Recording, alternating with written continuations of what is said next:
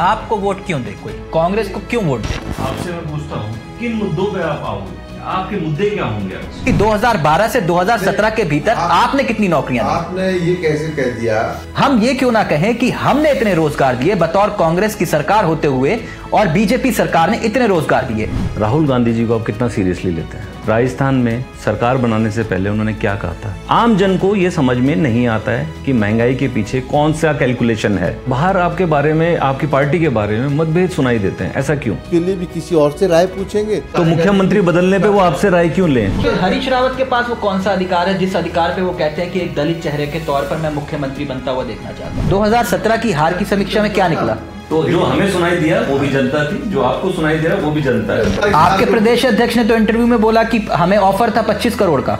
हम नहीं गए। हरक सिंह रावत कैसे नेता है? सुबोध दुनियाल कैसे नेता है? कुंवर पड़न सिंह चैंपियन कैसे नेता है? लोकतंत्र में लोगों लोगों के लिए तंत्र बना है। वही कह रहा हूँ ना। ये नेताओं के लिए कब से तंत्र बन गया चर्चा ये है कि हरिद्वार में डैमेज करने के लिए आम आदमी पार्टी को खड़ा किया गया। क्या ये सच है? आपको लगता है?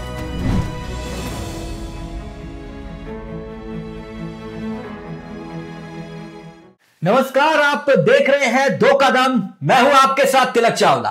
आज बात होगी उत्तराखंड की ऐसी शख्सियत की, जो वैसे किसी परिचय के मोहताज नहीं। वो चेहरा, जो राजनीति में, उत्तराखंड में एक अपनी पहचान बना चुका है। शुरुआत राजनीति की ब्लॉक स्तर से शुरू हुई और देखते ही देखते विधायक, फिर प्रदेश अध्यक्ष और प्रदेश अध्यक्ष के साथ, कई कैबिनेट के मंत्रालयों के साथ आज नेता प्रतिपक्ष की भूमिका निभा रहे हैं। जी हम बात कर रहे हैं नेता प्रतिपक्ष प्रीतम सिंह की। आज दो के दम में एक नए क्लेवर के साथ हम आपके साथ होंगे। हमारे साथ हमारे सहयोगी editor in chief News World India के हरीश जी भी सवाल पूछेंगे नेता प्रतिपक्ष से। बहुत बहुत स्वागत है आपका न्यूज़ वर्ल्ड इंडिया में। जी धन्यवाद नमस्कार। दो कदम तो है लेकिन शुरुआत आपसे ये कि आप तो तैयार है। लेकिन कांग्रेस तैयार है 2022 के लिए। 2022 के चुनाव के लिए कांग्रेस पूरी तरीके से तैयार है और 2022 में निश्चित रूप से उत्तराखंड राज्य के अंदर कांग्रेस का परचम लहराने जा रहा है। सत्ता में बैठे हुए लोगों ने जो वादे उत्तराखंड के लोगों से किए थे, उन वादों में से एक भी वादा पूरा नहीं किया है और उत्तराखंड के लोग भारतीय जनता पार्टी के चाल चरित्र चेहरे को पहचान चुके हैं और उन्होंने बदलाव का मन बना वोट क्यों दे कोई? कांग्रेस देखिए- क्यों वोट दे? देखिए कांग्रेस को वोट देने की बात मैं इसलिए कर रहा हूँ कि राज्य गठन के बाद इस प्रदेश के अंदर कांग्रेस को दो सरकारें बनाने का अवसर प्राप्त हुआ और दो सरकारों में निश्चित रूप से इस उत्तराखंड राज्य को कांग्रेस ने विकास के रास्ते में आगे बढ़ाने का काम किया। जी आपसे मैं पूछता हूँ किन मुद्दों पे आप आओगे? किन मुद्दों पे? ऐसे दस साल में आपने भी वादे किए थे। आप कहते हो कि उन्होंने वादे पूरे नहीं किए। बीजेपी की बात कर रहा हूँ उन्होंने वादे पूरे नहीं किए। आपके मुद्दे क्या होंगे आज? देखिए मैं कोई ऐसे ही हवा हवा में बात नहीं करूँगा। जी। जब हम 2017 के विधानसभा चुनाव को देखते हैं, जिसमें हम परास्त हुए। उस चुनाव में देश के प्रधानमंत्री जी उत्तराखंड की सरजमी पर आते हैं। तमाम भारतीय जनता पार्टी के लोग इस राज्य में आते हैं और एक स्वर से कहते हैं कि यदि उत्तराखंड राज्य के अंदर भारतीय जनता पार्टी की सरकार बनेगी तो सरकार गठन के बाद हम किसानों का ऋण माफ़ करेंगे, उनकी आय दुगना करने का काम करेंगे। लेकिन ना तो किसानों का ऋण माफ़ हुआ ना आय दुगनी हुई बल्कि किसानों पर तीन काले कानून थोपने का काम किया और किसान आज की तारीख में में आपने पर्चा भरा था? आज की तारीख में भी मैं 2017 में मैं पूरी बात क्या नाम किसान किसानों के ऊपर तीन काले कानून थोपने का काम किया और जिसके लिए किसान आज भी संघर्ष कर रहे हैं लगभग 600 किसानों की शहादत हुई है निश्चित रूप से दुगनी की बात की है पहले मैं वहाँ वहाँ आपको पॉइंट करना नि, निश्चित रूप से हम्म। मैंने 2017 का विधानसभा चुनाव का पर्चा भी भरा भरा। और उस पर्चे भरने के बाद चुनाव में चुनाव भी? देखिए मैं बड़ा स्पष्ट करना चाहता हूँ आज जब आय की हम बात करते हैं मैं तो खुद कहता हूँ मैं तो पक्षधर हूँ इस बात का कि मेरे पिताजी सन बावन में पहला चुनाव निर्दलीय लड़े थे। जी। उस समय हमारे पास क्या था? आज मैं 2022 का फिर से नामांकन भरने जाऊँगा। उस समय पे, पे, मेरे पास क्या आय होगी? कि मैंने 2012 में जो आय अपनी घोषित की है हम्म, उस आय में मैंने कोई चीज़ जोड़ी है? अगर कोई चीज़ जोड़ी है तो आपका प्रश्न उठाना वाजिब है। लेकिन 2022 में जो संपत्ति मेरे पास है उस समय स्वाभाविक बात है जो उसका मूल्य होगा वो 2017 में बढ़ेगा।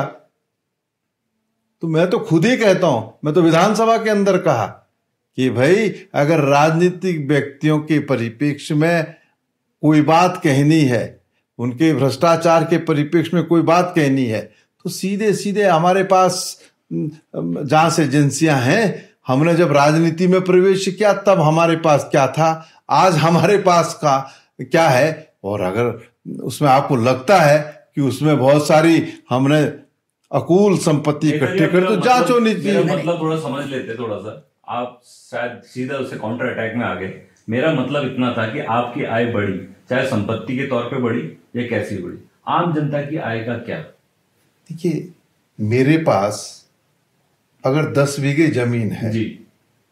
तो भाई 2012 में अगर उस ज़मीन की कीमत सपोज़ करिए 20 लाख है 17 में स्वाभाविक बात है वो 30 लाख होगी।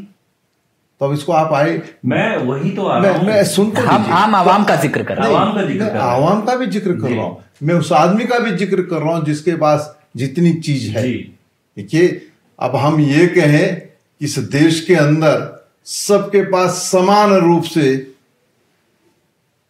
समान आय के साधन है। तो मैं समझता हूँ ये कदापि उचित प्रश्न नहीं जी मैं उस चीज़ पे आ ही नहीं रहा था कि आपकी संपत्ति दुगनी हो चार गुनी हो छह गुनी हो। मैं आम जन की संपत्ति की बात कर रहा हूँ उनकी तनख्वाहों की बात कर रहा हूँ उनके रोज़गार की बात कर रहा हूँ कि जो आय दुगनी करने की वादे सरकार ने किए थे। मौजूदा सरकार की भी बात कर रहा हूँ आपकी सरकार की भी बात कर रहा हूँ। जनता की तो आय दुगनी हो ही नहीं रही है। उनकी तो नौकरियाँ तक चली गई।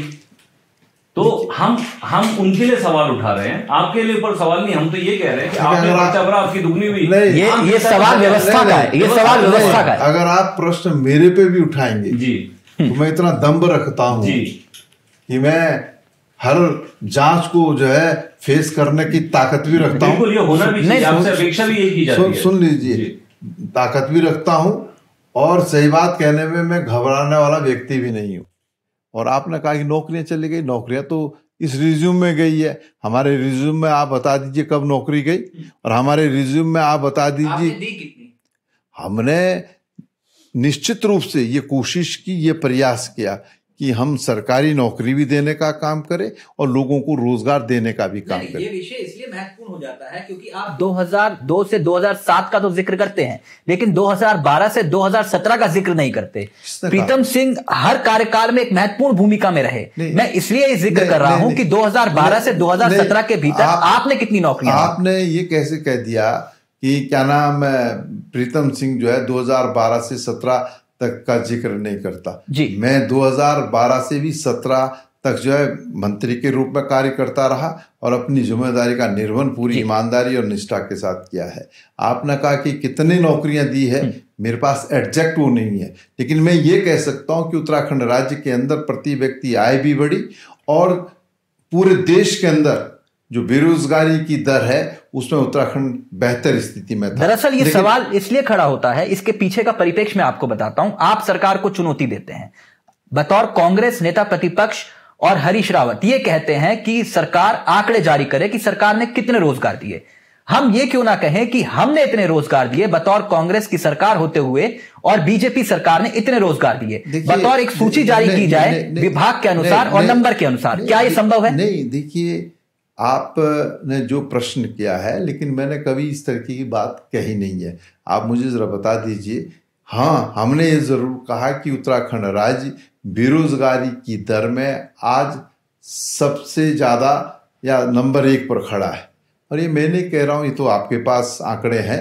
नहीं हरीश रावत कह रहे हैं ना कि चुनौती है कि आंकड़े जारी करे सरकार बत्तीस रोज़गार दिए कितने दिए। तो आपको भी तो जारी करने चाहिए अपनी सरकार हम, तैयार है। देखिए हम तैयार हैं उस बात के लिए। देखिए हरीश राव जी ने ये कहा कि सरकार के अलग अलग आंकड़े आ रहे हैं हम्म। विधानसभा के अंदर जब बेरोजगारी पर हम चर्चा कर रहे थे तो उस समय संसदीय कार्य मंत्री जी ने कहा था कि हमने लगभग दस लाख लोगों को रोज़गार दिया है हम्म। और सरकारी नौकरियों के परिप्रेक्ष्य में अलग बात कही थी तो यही बात कमोबेश अभी कुछ दिन पहले सरकार के प्रवक्ता ने कहा था कि हम अब तक सत्रह हज़ार नौकरियाँ दे रहे हैं, दी नहीं, दे रहे हैं। और उसमें हरीश राव जी ने कहा था कि इन जो नौकरियाँ देने का ज़िक्र सरकार कर रही है, उसकी प्रक्रिया जो है हमारे सरकार के समय प्रारंभ हुई। और जो आपने कहा अगर आप मुझे पूर्व में कहते तो निश्चित रूप से मैं आपको नहीं हम हम तो चाहेंगे एक मंच तैयार हो और इस मंच के माध्यम से क्योंकि आपसे उम्मीद है उत्तराखंड को। बतौर नेता प्रतिपक्ष बतौर प्रदेश अध्यक्ष आपसे उम्मीद रही। मैं इसलिए इन आंकड़ों का ज़िक्र कर रहा हूँ। मैंने वही कहा कि आपने अगर मुझे पहले कहा होता तो मैं आंकड़े उपलब्ध भी करा देता आपको आपको कि हमने क्या किया और भारतीय जनता पार्टी ने क्या किया है? तो अभी भी मुद्दा बन सकता है। अगर आप चाहें तो इस मुद्दे के आधार पर जनता के सामने लेकर आए। बतौर नेता प्रतिपक्ष कि ये हमने जारी किए थे आंकड़े हमारे पास हैं। हमने नहीं, नियुक्तियाँ नहीं, देखिए जब हम आम जन के बीच में जाएगा हमारा चुनावी घोषणा पत्र होगा। चुनावी घोषणा पत्र में हर बात का उल्लेख हम करेंगे। हम हर बात की बात कहेंगे कि हमने कितना रोज़गार दिया और इस सरकार ने कितना रोज़गार हम्म। दिया? हम उसको जाएँगे उसके साथ जो वही हम ये पूछना चाह रहे हैं कि आज मुद्दे क्या होंगे? राम मंदिर रहीम ये मुद्दे होने चाहिए। हिंदू मुसलमान या रोज़गार नौकरी पलायन। शिक्षा पलायन स्वास्थ्य ये मुद्दे होने चाहिए थे। जिनके जो report card basically report card जो तय होना चाहिए था जिसपे बात होनी चाहिए थी वो ये होने चाहिए आज हम भटक कहाँ रहे हैं? हम भटक रहे हैं कि मंदिर का क्या होगा?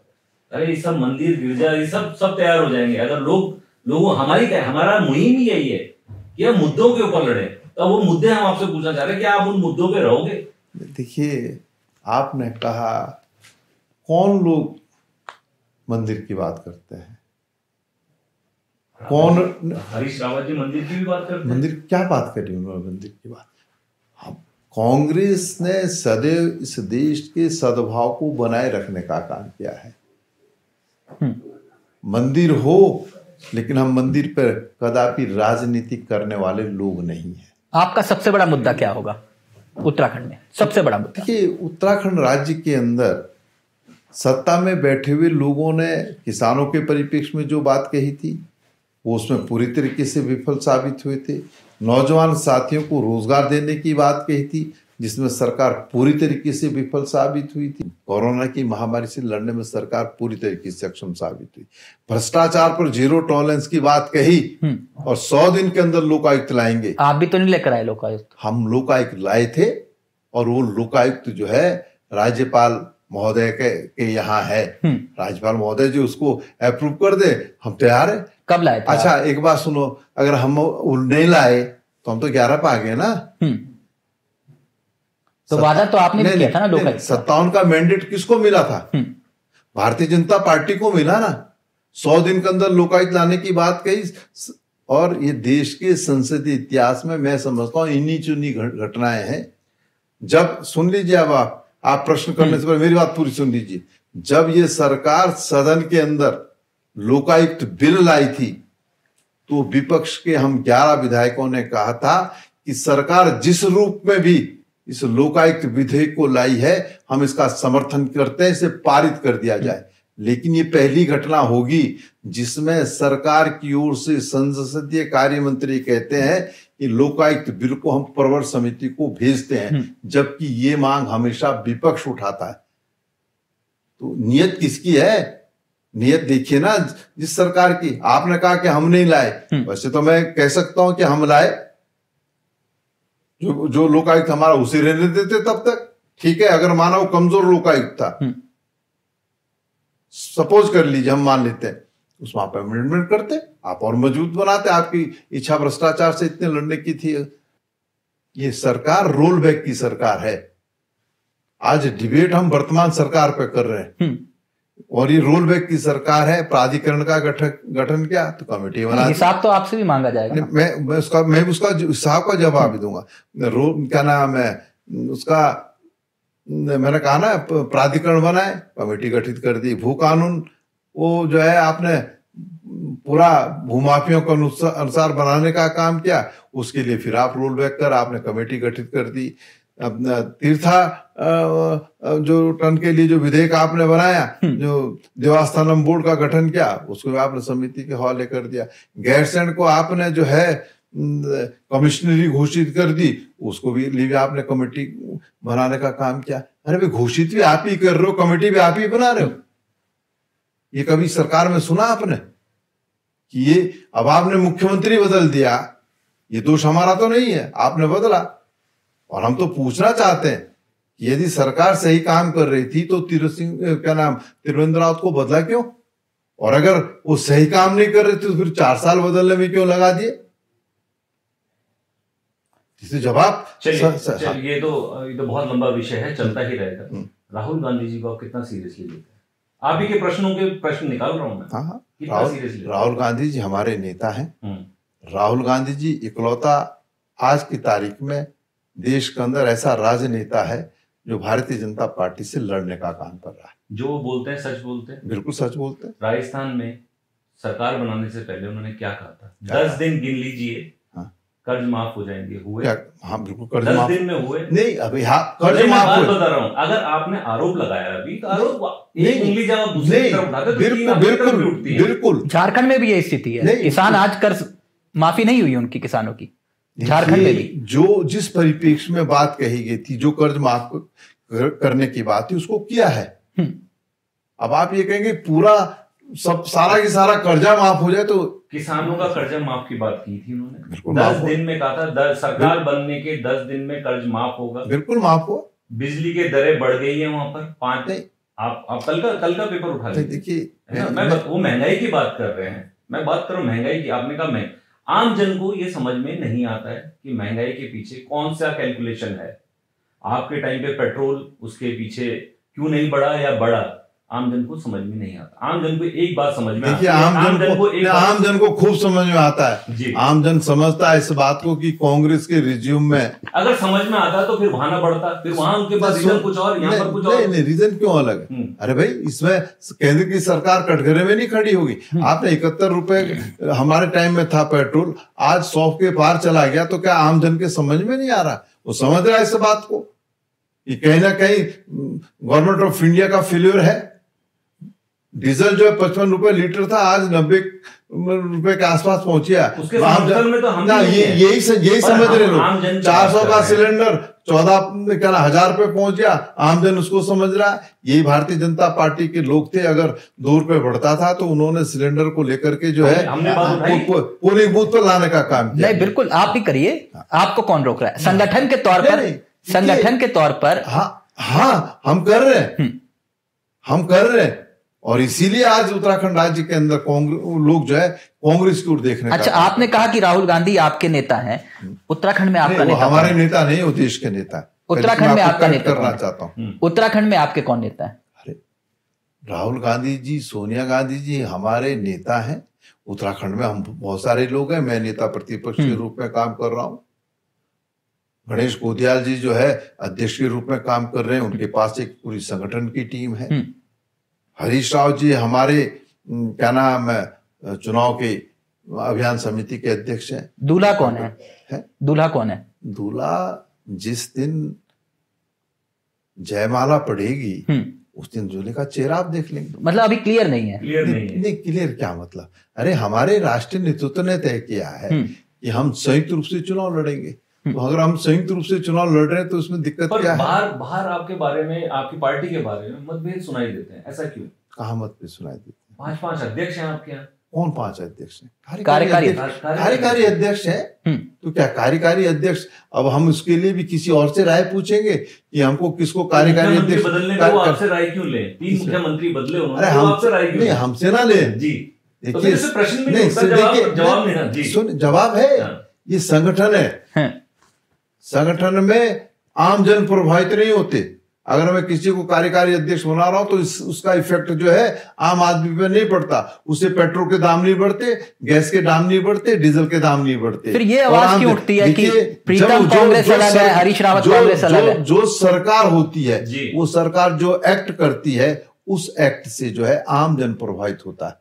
नहीं फिर ये बात क्यों उठती है कि प्रीतम कांग्रेस अलग है हरीश रावत कांग्रेस अलग है? किसने कहा प्रीतम कांग्रेस? मेरी तो कोई कांग्रेस नहीं। एक ही मैं तो मैं तो कांग्रेस का एक बहुत छोटा सा तो फिर नेता- सा नेता- अदना सा सिपाही हूँ। तो हरीश रावत आपके नेता नहीं है? मेरे नेता क्या मतलब? हरीश राव सबके नेता भाई। मुख्यमंत्री के चेहरे के तौर पर मैं कह रहा हूँ। मुख्यमंत्री के चेहरे के परिप्रेक्ष्य में निर्णय लेने का अधिकार मुझे नहीं है। हम्म। अगर ये अधिकार मुझमें निहित होता तो मैं निश्चित तो फिर हरीश रावत के पास वो कौन सा अधिकार है? जिस अधिकार पे वो कहते हैं कि एक दलित चेहरे के तौर पर मैं मुख्यमंत्री बनता हुआ देखना चाहता हूँ। उनकी एक चाहत है।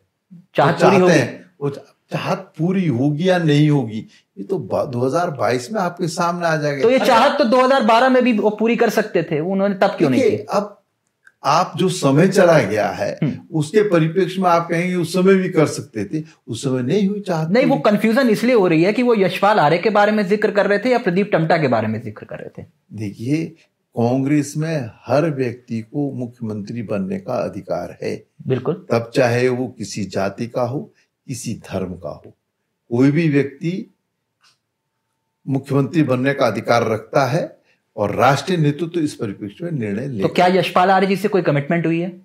किसकी? चेहरे को लेकर। किसकी? वो दलित चेहरे का ज़िक्र कर रहे हैं ना? कमिटमेंट हरीश रावत जी ने फिर किसके बारे में ज़िक्र किया? हरीश राव जी ने जो ज़िक्र किया उसका जवाब तो हरीश रावत जी देंगे। हम्म। लेकिन कमिटमेंट किसका होगा? अरे यशपाल आर्या जी ने कांग्रेस में विश्वास व्यक्त करते हुए सोनिया गांधी जी में विश्वास व्यक्त करते हुए राहुल गांधी में विश्वास व्यक्त करते कांग्रेस में जो है आने का निर्णय लिया है।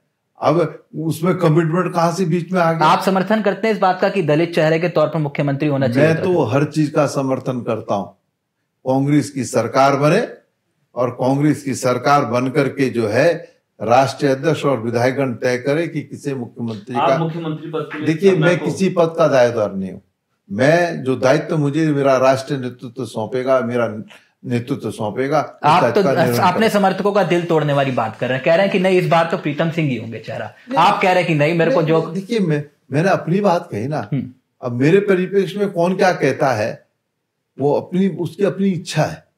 वो अपनी जगह है। नहीं ये प्रश्न इसलिए जायज़ हो जाता है। आपने ब्लॉक स्तर पे राजनीति शुरू की।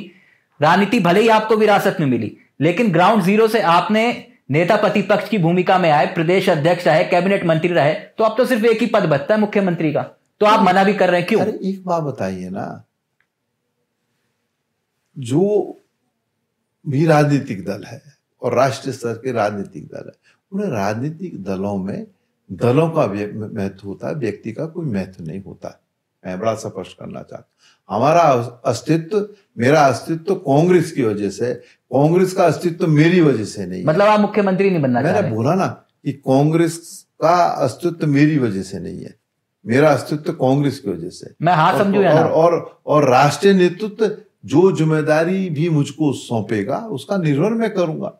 ठीक। मैं मुझे अध्यक्ष बनाया मैंने अध्यक्ष की ज़िम्मेदारी का निर्वहन किया मुझे नेता प्रतिपक्ष बनाया मैंने उसका निर्वहन कर रहा हूँ। इससे पूर्व मुझे जो प्रदेश प्रदेश में सरकार बनी उसमें मंत्री का दायित्व सौंपा।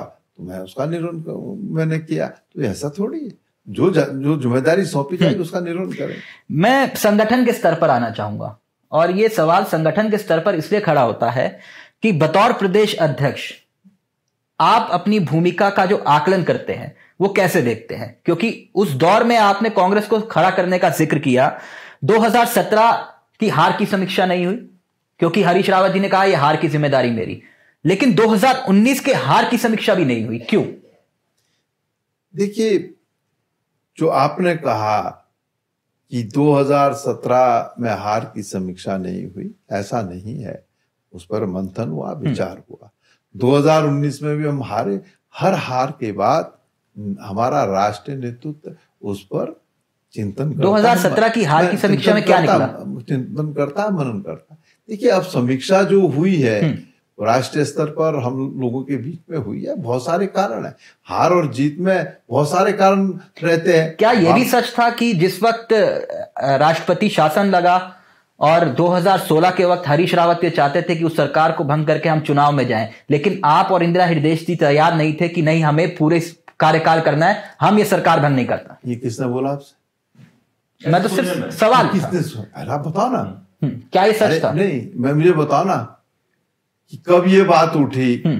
कि चुनाव में जाना है और हमने कब मना करा कि चुनाव में मत जाना? किसने कहा? आपसे बताओ ना। हम्म, जब आप कह रहे हैं मतलब ये ये बात उठी है। ये झूठ है। मैं ये नहीं कह रहा हूँ झूठ है। हम्म। मैं इस इन शब्द इन शब्दावलियों का प्रयोग मैं नहीं कर सकता। लेकिन आपने कहा कि मेरे और इंदिरा जी ने कहा कि हम चुनाव में नहीं जाएँगे। मैं बड़ा स्पष्ट करना चाहता हूँ मैं हर परिस्थिति में हर जंग को लड़ने के लिए तैयार रहता हूँ। हम्म। ये निर्णय कोई प्रीतम सिंह के कहने से पलट जाता। ये निर्णय क्या इंदिरा हृदय जी के कहने से पलट जाता। हम चुनाव में जाएँ या ना जाएँ क्या इस परिप्रेक्ष्य में कहीं पर कोई वार्ता हुई? क्या कहीं पर कैबिनेट में डिस्कस हुआ? आपने कह दिया कि साहब प्रीतम सिंह और इंदिरा हृदय नहीं चाहते थे। हम्म, अरे जो निर्णय होता है उस निर्णय में रा, क्या नाम राष्ट्रीय नेतृत्व प्लस राज्य का नेतृत्व। आप अपने आपस में में- आप सुनिए आपस में मिल करके तय करते हैं। और अगर हमारा नेतृत्व ये तय करता हमको चुनाव में जाना है तो हम कैसे मना कर देते? ये जिससे भी आपने सुना है हम्म, उससे कहिए पहले अपनी इंफॉर्मेशन जहाँ से कलेक्ट की है उसको जो है सही करने का काम करें। नहीं तभी ये- मैंने ये- पूछा ये आप जो- सही कर देंगे ये, ये जो दिग्भ्रमित करने वाली बातें हैं इससे ना तो मैं दिग्भ्रमित होने वाला हूँ और ना ही सच जो है झूठ जो है सच में। आज इलेक्शन आने वाले हैं। दो महीने के बाद आप इलेक्शन के लिए बिल्कुल तैयार है हार और जीत के लिए तैयार है। आम जनता को आप क्या पूछना चाहोगे क्या बताना चाहोगे किन किन मुद्दों पे वोट दे आपके पुराने रिपोर्ट कार्ड पे प्रेजेंट के रिपोर्ट कार्ड पे या आने वाले घोषणा पत्र पे? देखिए जनता जब वोट देती है जी। आम जनमानस जब अपने मत का प्रयोग करने जाता है तो वो हमारे अतीत को भी देखते हैं हमारे वर्तमान को भी देखते हैं और उसके आधार पर आकलन करके वो भविष्य का मार्ग जो है प्रशस्त करने का काम करते हैं। तो हमारा अतीत भी गौरवशाली है जी। हमारा वर्तमान भी गौरवशाली है और निश्चित रूप से उत्तराखंड के लोगों ने 2022 में मन बना लिया है कि भारतीय जनता पार्टी को सत्ता से बेदखल करना है और कांग्रेस की वापसी तय है। आप बोल रहे मन बना लिया है जनता ने। ये आपको किसने कहा? आपने अभी हमसे पूछा किसने कहा? ये आपको किसने कहा? मैं कह रहा हूँ ना। आम जन की जो आवाज़ आती है। आम देखिए अभी आपसे मैंने पूछा ना कि आपको बोलते ना आपने कहा कि मैं काम कर रहा हूँ मुझे नहीं पता क्या आगे रिज़ल्ट है। वो तो आप लोग बताओगे कि क्या लोग कह रहे हैं। तो वही मैं जब लोग कह रहे हैं तो हमें सुनाई पड़ता है वो हम आपसे प्रश्न करते हैं। तो जो लोग कहते हैं हाँ, जो जो- लोग कहते हैं वो आपको भी सुनाई पड़ता है। वही- वही। और जो लोग कहते हैं वो हमको भी सुना नहीं नहीं सुन तो लीजिए नहीं दोनों नहीं सुन तो लीजिए। नहीं नहीं वो हमको भी सुनाई पड़ता है। ये आवाज़ तो है जो है वो जनता है। हाँ है। तो जो हमें सुनाई दिया वो भी हाँ। जनता थी। जो हाँ। आपको सुनाई दे रहा वो भी जनता जनता थी। जी वो झूठ और सच वो जनता को ही तय हाँ करना तो वो है तो तय करी। तो चलिए पिछले पिछले उसका समाधान मिल गया कि सोर्स दोनों का जनता ही जनता। आपके आपकी पार्टी में हम लोग पूरे सत्तर की सत्तर विधानसभा में घूम रहे हैं और हम एक किस्सा कुर्सी का जो है डिबेट भी कराते हैं। पर हमारे को हर जगह मसूरी में गए कहीं पे भी गए कांग्रेस के चार चार प्रत्याशी नज़र आए कि मैं भी तैयारी कर रहा हूँ मैं भी तैयारी कर रहा हूँ। तैयारी असल में टिकट तो एक को मिलने वाला है। तो वो जो हरीश रावत जी ने सबको तैयारी करने के लिए बोला कहीं फूट का कारण ना बन जाए वो। एक क्या बताइए? जी। क्या कभी ऐसा हो सकता है कि एक ही व्यक्ति टिकट मांगे? नहीं टिकट तो एक नहीं मांगे मगर तैयारी चारों ज़ोर एक बात बताओ। नाराज़गी एक बात बताओ। जी। जब कोई व्यक्ति टिकट का दावेदार होगा तो बिना तैयारी के वो टिकट का दावेदार हो जाएगा। दा, दावेदार तो मतलब आपका कहना तैयारी सब करें। बिल्कुल करें। अरे आप तैयारी कर रहे हैं। लास्ट में रूठना मनाना सब चलता रहेगा फिर अब देखिए ये लोकतंत्र की खूबसूरती है जिसको आप कह रहे हैं कि रूठना और मनाना। अगर एक विधानसभा से एक ही प्रत्याशी हो फिर क्या है? नहीं नहीं ये होता फिर तो फिर अपने फिर तो सुना मेरे से। फिर तो जो है सी सी का गठन स्टेट इलेक्शन कमेटी का गठन ये सब करने की आवश्यकता ही नहीं अच्छा है। अच्छा इस बार आप लोग भाई लोग मांगते हैं टिकट उस टिकट मांगते समय जो है सब लोग अपनी अपनी बात कहते हैं और तब अपनी मजबूती से कहेगा ना जब कुछ करा होगा ज़मीन पर। संगठन ज़मीन पर कुछ नहीं हो तो क्या कहे? तो अपनी बात कहते हैं टिकट हमको दिया क्या आप लोगों ने तय किया है कि परिवार में टिकट बांटेंगे या नहीं? कुछ तय हुआ है कि परिवारवाद में टिकट बांटेंगे देखिए ये बड़ी अजीब विडम्बना है। हम्म। भाई मुझे भी जो है राजनीति विरासत में मिली। हम्म। और कहते हैं ना काट की आंडी एक बार चटती है हम्म। बार बार नहीं चटती बिल्कुल। मेरे को राजनीति विरासत में मिली। तो एक बार तो मैं अपने पिताजी के नाम से जीत गया। अगर मैं आ, बाकी जो है आगे जीतने के लिए ना जीतोड़ मेहनत करनी पड़ती। नहीं प्रश्न तो का उत्तर नहीं सुनिए सुनिए। कोई परिवारवाद में क्या खराबी है भाई? मैं एक प्रश्न पूछना चाहता हूँ। तो आप कल से कह दीजिए डॉक्टर का बेटा डॉक्टर नहीं बनेगा जज का बेटा जज नहीं बनेगा। यानी कुल मिला के संजीव संजीव आर्य को भी टिकट मिलेगा आनंद रावत को भी टिकट मिलेगा अनुपमा रावत को भी टिकट मिलेगा प्रीतम सिंह जी अपने घर में टिकट देंगे। एक, बात सुनिए। देखिए ये हमारा राष्ट्रीय नेतृत्व तय करता है हम्म। कि टिकट किसको देना है। नहीं वकालत आप कर रहे हैं। अरे सुन तो लीजिए। मैं वकालत नहीं कर रहा हूँ। मैंने वकालत नहीं कही। आपने मेरे शब्दों को तोड़ा मरोड़ा है। मैंने वकालत नहीं की। मैंने ये कहा कि भाई परिवारवाद का क्या मतलब है? और लोकतंत्र में राजनीति में परिवारवाद हो नहीं सकता है। हम्म। अरे भाई परिवारवाद के नाम पर आप एक बार तो चुनाव जीतोगे। बार बार थोड़ी जीत जाओगे। उसके बाद तो खुद मेहनत करनी पड़ेगी ना। अच्छा एक सवाल और क्योंकि प्रीतम सिंह सिर्फ़ एक चक्राता के नेता नहीं रह गए। प्रीतम सिंह एक नेता प्रतिपक्ष की भूमिका में दिखाई दिए प्रदेश अध्यक्ष की भूमिका में दिखाई दिए। तो ऐसे में आपका प्रभाव जो है उन विधानसभा क्षेत्रों में भी दिखाई देना चाहिए जहाँ आसपास की आपकी सीटें हैं। मेरा कहने का मतलब यह कि सहसपुर हुआ विकासनगर हुआ धनोल्टी हुआ परोला हुआ। लेकिन 2017 में ऐसा क्या हुआ कि इन्हीं सीटों पर कांग्रेस हार गई? कोई प्रभाव नहीं दिखाई दिया आपका देखिए देखिए आप ने ऐसा प्रश्न किया है जिस प्रश्न का कोई जवाब नहीं है। देखिए राजनीति में जब हम चुनाव मैदान में जा, जाते हैं तो कई बार ऐसी ऐसी बातें हो जाती हैं जिसको आप चाह करके भी नहीं बदल पाते। हवा का रुख था। भाई सतहत्तर में क्या हुआ? इंदिरा गांधी जैसी शख्सियत चुनाव हार गई। आपने आपने योग्यता के ऊपर बोला कि जो भी नेता बने उसकी योग्यता को देखा जाएगा। पहले योग्यता क्यों नहीं देखी जाती? किसी भी नेता की। मैंने कब बोला? अभी बोला आप निकालो इसको अगर मैंने योग्यता शब्द का प्रयोग किया निकालिए आप इसको। हाँ जी। दिखाओ। हाँ दिखाएँगे आपको। योग्यता सब पे भी आप आए थे। मैं योग्यता- हम ये कह रहे हैं कि क्या क्या एक नेता की योग्य जनता के लिए पूछ रहा हूँ जनता पूछती है कि क्या योग्यता अनुसार उनका नहीं होना चाहिए चयन? योग्यता के अनुसार तो हर राजनीतिक दल जो है चाहता है कि अच्छे प्रत्याशी को मैदान में उतारे। हम्म। लेकिन जब टिकट मांगते हैं टिकट मांगते समय जो है बहुत सारे प्रत्याशी होते हैं।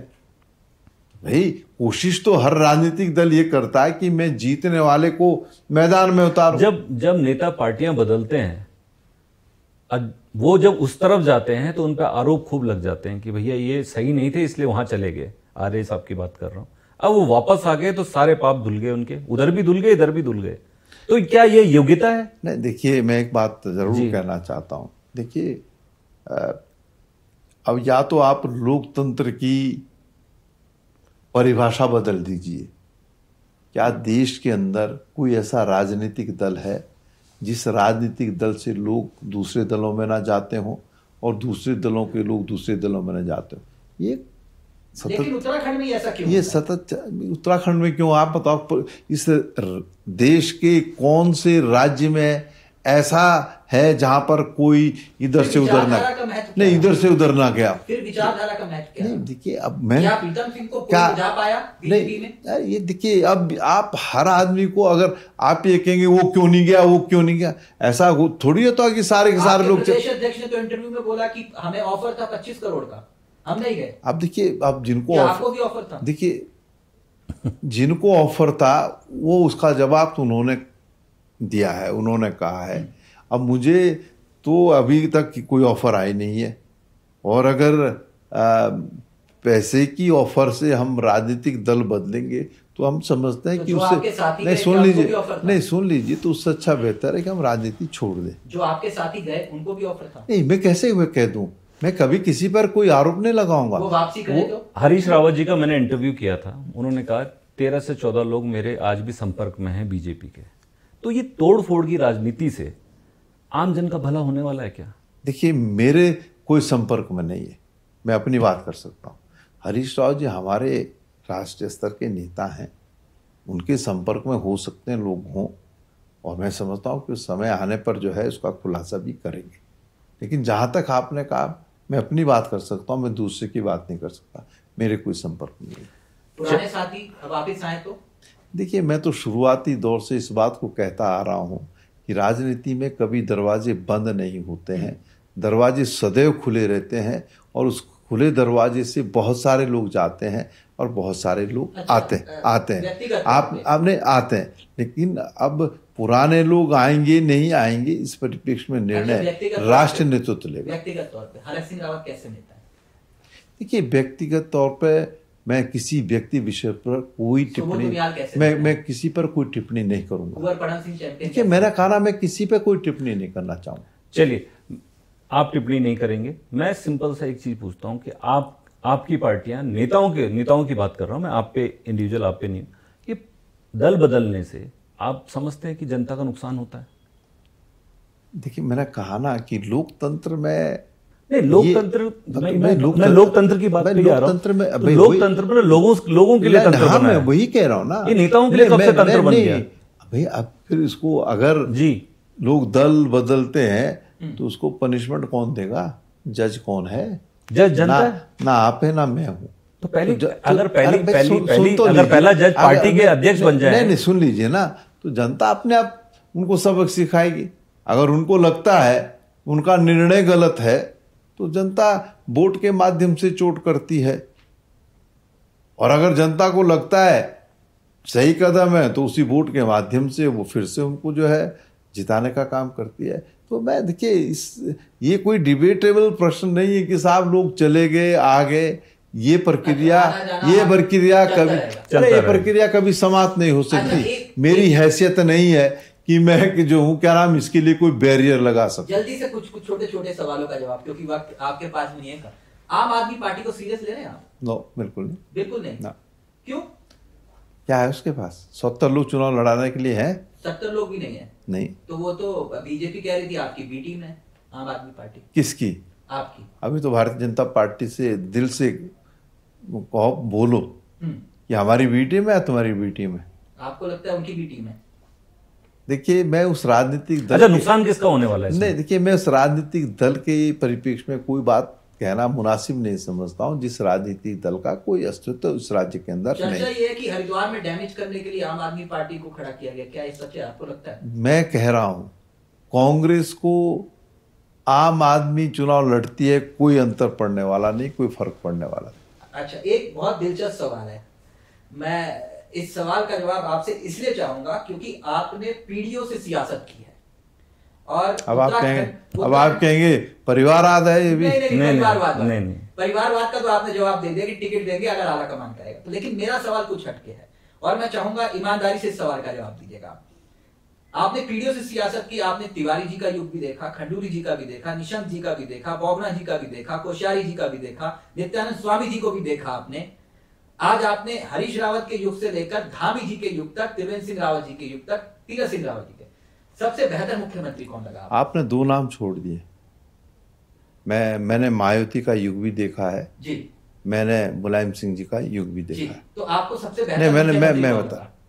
मैं उत्तराखंड के संदर्भ में नहीं आपने उत्तराखंड के सम... नहीं आपने कहा कि मैंने अपने राजनीतिक जीवन राजनीतिक तो जब राजनीतिक जीवन की बात आएगी तो मैं निश्चित रूप से दो नाम इसमें और जोड़ना चाहूँगा कि मुझे मुझे? इनको भी देखना देखिए हर अब आप देखिए हर व्यक्तित्व में हम्म, आप जो है कोई समन्वय स्थापित नहीं कर सकते। किसी में कोई खूबी होती है किसी में कोई खूबी होती है। सर्वगुण संपन्न कोई व्यक्ति नहीं होता है हर व्यक्ति में कोई ना कोई बहुत कुछ कुछ अच्छाइयाँ होती हैं कुछ देखिए बेहतर। देखिए ईमानदारी से मैं कह रहा हूँ कि मैं देखिए मैं कार्य के आधार पर ही आकलन कर पाऊँगा मैं ऐसे कह दूँ कि में बहुत सारे हम मुख्यमंत्रियों को तो देखा हम। देखिए मैं किसी भी व्यक्ति पर कोई व्यक्तिगत टिप्पणी करना कार्यकाल- कदापि अच्छा अच्छा बोलने में अच्छा बोलने में अगर किसी ने अच्छा काम किया तो उसका नाम लेने में इसका क्या मतलब ये हुआ जी इसका कि मतलब जो ये अच्छा है वो तो ठीक है जी। बाकी सब खराब है तो आप मेरे मुँह अच्छा, से आप मतलब आप मेरे हाँ। आप मेरे मुँह से ये नाराज़ नहीं नहीं। नाराज़ की बात नहीं होती आप मेरे मुँह से ये बुलवाना चाह रहे हैं धामी जी को दस में से कितने नंबर देंगे देखिए धामी जी को नंबर देने वाली बात इसलिए नहीं बन पाती है हम्म।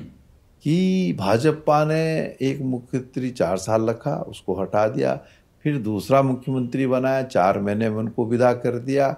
और अब भाजपा खुद कहती है, और उनके केंद्रीय नेतृत्व खुद कहते हैं कि धामी जी जो है, नाइट वॉचमैन के रूप में बैटिंग कर रहे हैं। और क्रिकेट जगत में नाइट वॉचमैन उसको भेजा जाता है, जो सबसे कमज़ोर खिलाड़ी होता है। अच्छा वो कमज़ोर खिलाड़ी है। मैं मैं नहीं कह रहा मैं तो क्रिकेट भाषा का ज़िक्र किया नहीं वो कई बार छक्के अरे मैं मैं मैं। नहीं में नहीं मैं मैं वो वो समय आने वाला नहीं है। वो जो आप नाइट वॉचमैन से कह रहे आप छक्का। अब लेकिन आउट भी तो बड़ी जल्दी होता है। अच्छा। हैं? होता कि नहीं होता? तो भाई वो नाइट वॉचमैन के रूप में है उनको क्या कि अब तुम जो लगे रहो। क्योंकि अच्छा, अच्छा। क्योंकि भाजपा हो सकती है एक और मुख्यमंत्री ना दे दे इसलिए उन्होंने कहा तुम लगे रहो ये दो चार महीने है इसमें लगे रहो। चलिए। देखिए उनके पास अच्छा, समय नहीं है। आप मोदी जी को जादूगर मानते हैं? नहीं किस बात का जादू? अरे जब भी वो आते हैं कुछ ना कुछ ऐसा कर जाते हैं कि लहर- देखिए- लहर जिसको नहीं देखिए कोई लहर नहीं है। कहते हैं ना काट की हांडी एक दो बार चढ़ती है बार बार नहीं चढ़ती है। ईमानदारी से इस सवाल का जवाब भी। क्या मैं 2022 में आने वाले मुख्यमंत्री से बात कर रहा हूँ। मैंने पहले भी कहा है अब फिर इसको दोहरा रहा हूँ। जी। देखिए राजनीति में व्यक्ति का महत्व नहीं होता है दल का महत्व होता है। चेहरे का होता है। मेरा मेरा वजूद कांग्रेस से है कांग्रेस का वजूद मेरी वजह से आप सवाल का जवाब टाल रहे हैं। मैं मैं जवाब पूरा सुन लीजिए।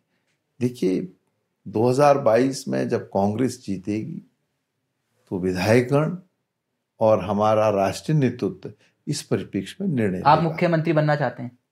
देखिए मैं बनना चाहता हूँ या नहीं चाहता हूँ? अगर मैं कह दूँ मैं बनना चाहता हूँ और हम जो है क्या नाम नहीं बन पाए। ये बनना चाहता हूँ या नहीं चाहता हूँ? ये जो है राष्ट्रीय नेतृत्व तय करता है कि किसको ज़िम्मेदारी सौंपनी है। जिसको राष्ट्रीय नेतृत्व इच्छा शक्ति रखते हैं मतलब इच्छा शक्ति सभी के अंदर होती है। जिसको जिसको नहीं देखिए मैं ये नहीं कहा मैंने कहा जिसको राष्ट्रीय नेतृत्व मौका देगा सब लोग उसके साथ खड़े होने का काम करें आपने बेबाक अंदाज से अपने सवालों के जवाब हमें दिए। न्यूज़ वर्ल्ड इंडिया के लिए आपने वक्त निकाला। थैंक यू सो मच बहुत बहुत शुक्रिया। दो के दम के लिए बहुत बहुत शुक्रिया। थैंक यू सो मच बहुत बहुत शुभकामनाएँ धन्यवाद। तो ये थे हमारे साथ नेता प्रतिपक्ष प्रीतम सिंह जिन्होंने बेबाक अंदाज से सवालों के जवाब दिए। अगली बार होगी एक नई शख्सियत से मुलाकात। मुझे दीजिए इजाज़त और मेरे सहयोगी एडिटर चीफ हरीश असवाल जी को दीजिए इजाज़त। नमस्कार जय हिंद जय भारत जय उत्तराखंड। आपको वोट क्यों दे कोई? कांग्रेस को क्यों वोट दे? आपसे मैं पूछता हूँ किन मुद्दों पे आप आओगे? आपके मुद्दे क्या होंगे आपसे? कि 2012 से 2017 के भीतर आप, आपने कितनी नौकरियाँ दी? आपने ये कैसे कह दिया? हम ये क्यों ना कहें कि हमने इतने रोज़गार दिए बतौर कांग्रेस की सरकार होते हुए और बीजेपी सरकार ने इतने रोज़गार दिए? राहुल गांधी जी को आप कितना सीरियसली लेते हैं? राजस्थान में सरकार बनाने से पहले उन्होंने क्या कहा था? आम जन को ये समझ में नहीं आता है कि महँगाई के पीछे कौन सा कैलकुलेशन है। बाहर आपके बारे में आपकी पार्टी के बारे में मतभेद सुनाई देते हैं। ऐसा क्यों? के लिए भी किसी और से राय पूछेंगे। तो मुख्यमंत्री बदलने पे वो आपसे राय क्यों लें? कि हरीश रावत के पास वो कौन सा अधिकार है? जिस अधिकार पे वो कहते हैं कि एक दलित चेहरे के तौर पर मैं मुख्यमंत्री बनता हुआ देखना चाहता हूँ। 2017 की हार की समीक्षा में क्या निकला? तो जो हमें सुनाई दिया वो भी जनता थी। जो आपको सुनाई दे रहा वो भी जनता है आपके प्रदेश अध्यक्ष ने तो इंटरव्यू में बोला कि हमें ऑफ़र था 25 करोड़ का। हम नहीं गए। हरक सिंह रावत कैसे नेता है? सुबोध दुनियाल कैसे नेता है? कुंवर पड़न सिंह चैंपियन कैसे नेता है? लोकतंत्र में लोगों लोगों के लिए तंत्र बना है। वही कह रहा हूँ ना। ये नेताओं के लिए कब से तंत्र बन गया। चर्चा ये है कि हरिद्वार में डैमेज करने के लिए आम आदमी पार्टी को खड़ा किया गया। क्या ये सच है? आपको लगता है?